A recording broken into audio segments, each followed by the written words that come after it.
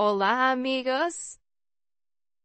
Durante los últimos 100 años, la ideología social comunista o de izquierdas o incluso separatista ha tenido tiempo suficiente, 100 años, para dos cosas muy importantes.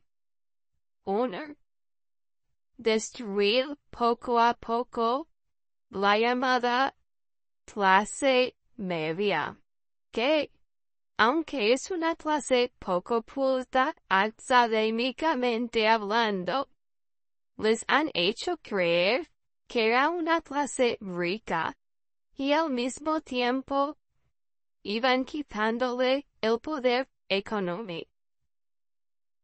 Han ido convenciendo, número dos, a esa clase media y a la clase llamada baja, o sea, a los pobres, que los únicos causantes de sus problemas en la clase media y en la clase baja eran los ricos, los empresarios.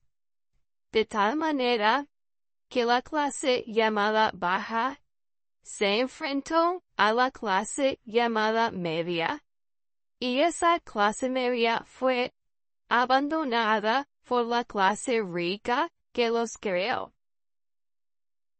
La clase política etiquetada de derechas y que en el pensamiento de esas dos bases principales de un país, que son la clase baja y la clase media, decir derechas es como decir el enemigo. Pero, curiosamente, el resurgir de esas ideas de derechas está teniendo fuerza en las clases bajas y en las clases medias en todos los países. ¿Por qué está pasando eso? Es tan fácil de explicar que podría parecer que es mentira.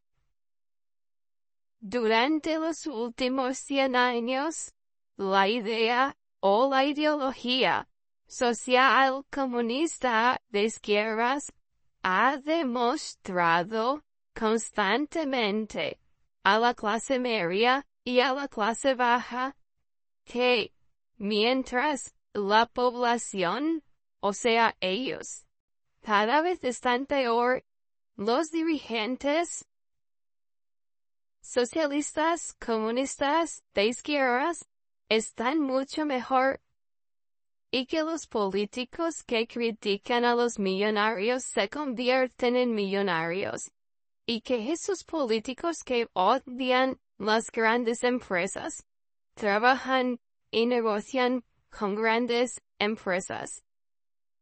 Ahora, esas clases bajas y media, que viven el día a día con un simple sueldo, trabajando 10 horas diarias, tal vez en el campo o con el ganado o con la pestra, en lo único que creen son muy pocas cosas.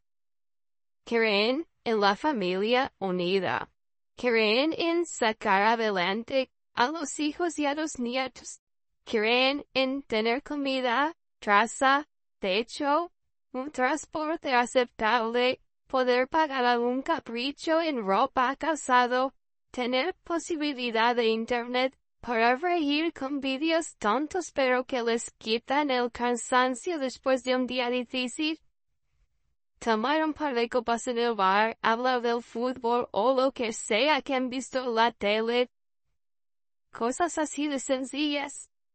Al día de hoy, ¿quiénes les están ofreciendo eso, exactamente eso?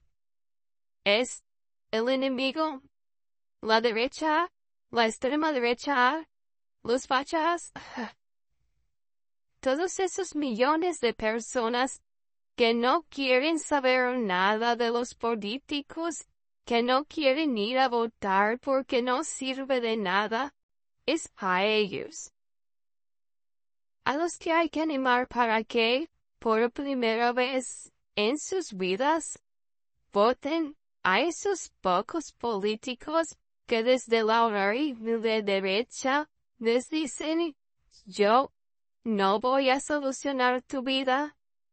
Te voy a facilitar las cosas para que tú encuentres las soluciones.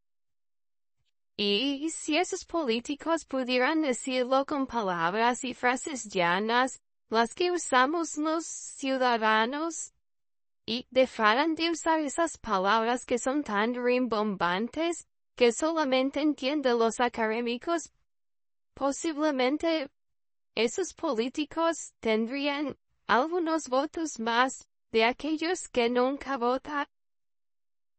Suerte.